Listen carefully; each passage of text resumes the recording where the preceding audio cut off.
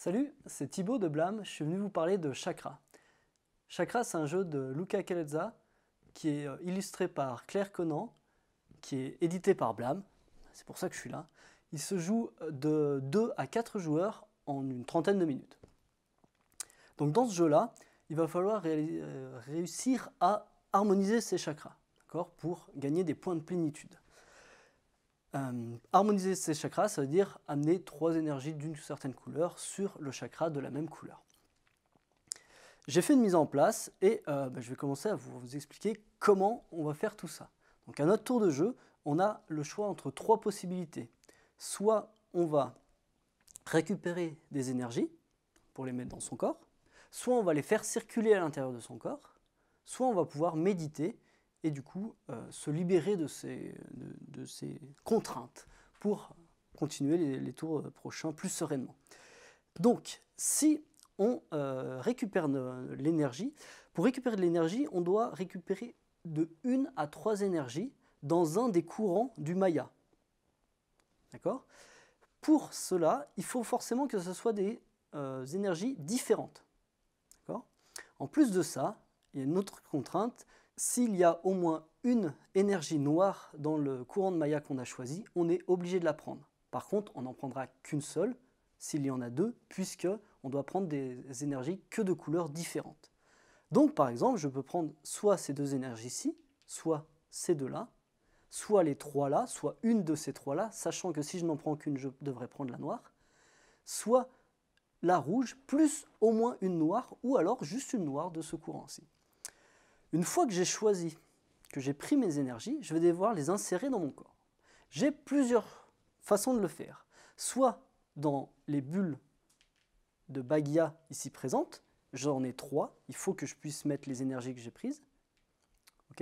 Soit je vais pouvoir les insérer directement dans un chakra. À ce compte-là, par contre, ça va me coûter un jeton d'inspiration que je vais mettre ici pour insérer les énergies dans le chakra. Je ne suis pas obligé de mettre les énergies de, la, couleur correspondante au chakra. Je fais comme, je l'entends. Par contre, il faut toujours qu'il y ait la place de les mettre. C'est-à-dire que s'il y avait déjà hop là, deux énergies dessus, je ne pourrais pas en rater deux autres. J'aurais dû en choisir qu'une seule. Bon, voilà. Il en, va de même pour les bulles de Baga.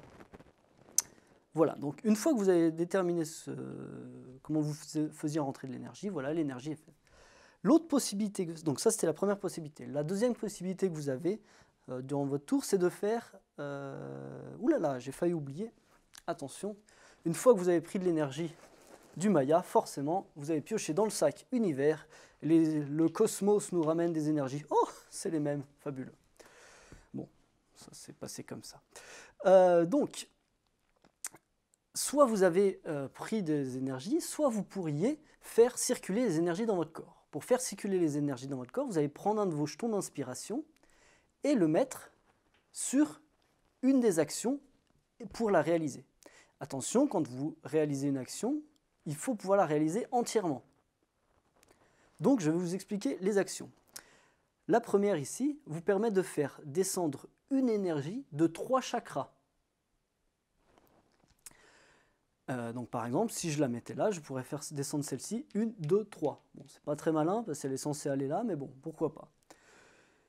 Si je choisissais celui-ci, je pourrais faire descendre une énergie de 1 et une autre énergie de 2 chakras. Ces énergies n'ont pas besoin de venir du même chakra. C'est-à-dire que si j'étais comme ceci, j'aurais pu dire je fais descendre de 1, 2 celui-ci, puis je fais descendre celui-ci de 1. Hum, si je choisis celui-ci, celui-ci me permet de descendre trois énergies de une seule, euh, d'un seul chakra. Attention, là, tout à l'heure, je vous disais qu'il fallait pouvoir réaliser totalement l'action. Ici, je ne peux pas la réaliser car je n'ai que deux énergies dans, mon corps. Voilà. Ici, je referai remonter une énergie de deux chakras. Avec cette action, vous feriez remonter deux énergies d'un chakra. Avec celle-ci, vous feriez monter une énergie et descendre une autre, ou descendre une et, monter, dans l'ordre qui vous sied. Attention, ces déplacements sont tous euh, ne sont pas simultanées. C'est-à-dire qu'il faudrait avoir la place de les faire. Je vais, je vais, je vais revenir avec un petit exemple. Enfin, celui-ci, vous pouvez faire euh, soit monter une énergie, soit descendre une énergie. Je parlais d'un exemple tout à l'heure. Quand nous avons, il y a plusieurs choses spéciales. Quand on a un chakra qui est complet, qui est harmonisé, comme celui-ci, le violet, puisqu'il y a trois énergies violettes dans le chakra violet, celui-ci est harmonisé. Si un chakra est harmonisé, on ne le compte plus dans les cases de déplacement. C'est-à-dire que si j'avais baissé celui-ci, par exemple, la jaune de 3, je pouvais faire 1, 2, 3. Chose importante, si je veux faire descendre une énergie ou monter une énergie, je veux faire circuler une énergie et qu'il y a trois énergies dans un chakra mais qui ne sont pas forcément de la bonne couleur, le chakra est bloqué, je ne peux pas traverser, donc je pourrais potentiellement ne pas pouvoir faire l'action. Bon. Vous avez compris toutes ces actions-ci. Je vous parle enfin de la toute dernière. La toute dernière, c'est celle-ci.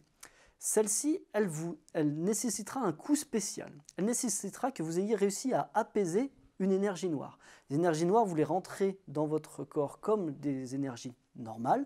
Par contre, vous pouvez les faire sortir, en fait, les ramener à la Terre. C'est la seule et unique énergie que vous pourriez faire sortir de votre corps. Car une fois que vous les avez entrées dans votre corps, elles y restent, les énergies.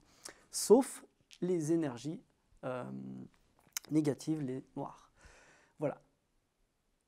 Du coup, cette action-là, elle vous permettrait, si vous le faites et que vous avez une énergie apaisée, on appelle apaisée, une énergie noire qui est sortie, vous pouvez défausser cette énergie apaisée et aller piocher dans l'univers l'énergie de votre choix. Alors piocher vraiment, vous choisissez celle qui vous va bien. Moi je suis allé piocher comme ça, mais en fait je voulais vraiment celle-ci par exemple. Et je la mets dans une de mes euh, bulles de euh, Voilà, je n'ai pas le droit de la faire rentrer là, vraiment. Euh, voilà, qu'est-ce qui me reste à vous dire d'autres euh, Ces jetons-là que vous avez insérés enfin pour, euh, que vous avez utilisé pour insérer des, énergies directement dans les chakras, ils seront bloqués tant que le chakra correspondant n'est pas harmonisé. D'accord? Donc si par exemple, pour une raison folle, je prends cette, euh, cette énergie-là et que je la fais rentrer ici directement, j'harmonise directement le chakra, je le regagne. Ça peut être une façon de gagner un peu de temps. Euh, voilà, c'en est tout pour les déplacements donc le, canaliser ses chakras, ses énergies. Pardon. La troisième possibilité qu'on aurait, ce serait de méditer. Si on médite, on va récupérer tous les jetons d'inspiration qui sont euh, sur nos actions ici présentes. Donc je vais récupérer ces deux-là. Alors je peux, méditer même si j'ai encore des, jetons disponibles, c'est pas grave. Par contre, attention, je ne récupère pas ceux-là. Ceux-là, je vous rappelle, ils sont, ils sont récupérés uniquement quand le chakra qui est en face est harmonisé. Voilà.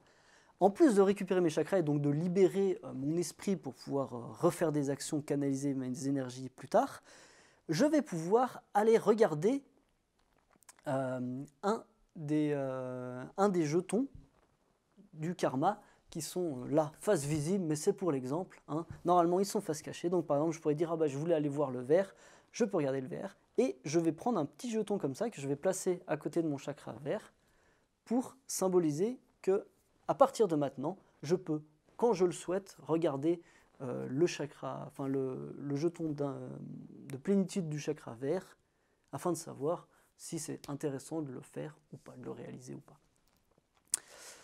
Et j'en viens, j'y viens tout de suite en expliquant la, euh, la fin de partie. La fin de partie, c'est quand il y a quelqu'un qui a réussi à faire cinq chakras, à harmoniser cinq chakras, à ce moment-là, on finit simplement le tour, c'est-à-dire par exemple si j'étais le premier joueur, grâce au magnifique jeton premier joueur, que j'ai fini mes 5 chakras, vous jouez une fois chacun, ça revient à mon tour, on arrête la partie définitivement.